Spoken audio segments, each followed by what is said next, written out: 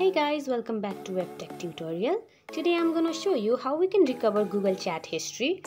If you are new to this channel, make sure to subscribe our channel and don't forget to hit the bell icon to be updated with our new videos.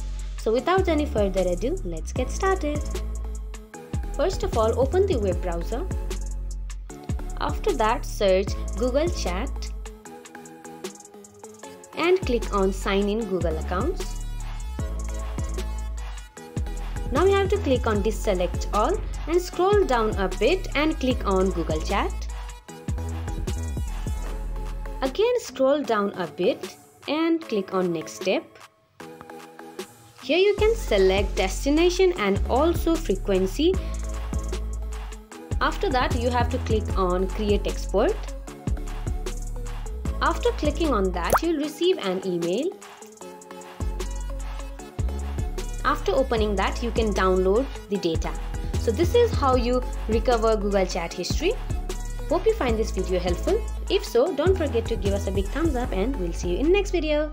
Till then, have a good day. Bye bye.